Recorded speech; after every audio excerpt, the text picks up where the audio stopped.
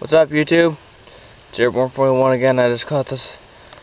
It's obviously the same video, the same guy, but uh, I caught him and he can't get away. But he's a really cool looking salamander. Hopefully I don't drop him here. Hopefully I'm, I'm probably gonna drop him. This is branch, but another cool looking salamander. Oh, he jumped. Where'd he go? Oh man, oh he's right there. Right there.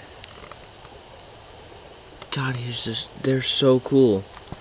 And uh, again, it's like 8 o'clock in the morning. I'm still not awake, for God's sake. I was supposed to be going somewhere, but I honestly don't feel good. And this makes me feel better, catching salamanders and other wildlife. And look at them, look at them go. They're right through my fingers. He's a really nice salamander. Hopefully it doesn't go up my uh, sleeve here, that would suck. He is really cold to be honest. Oh, look at him go. He's so cool looking. Don't forget to comment, like, and subscribe to my video. Oh, he's already jumps again. I'm going to let this little guy go be on his way, and um, let's see what else we can find.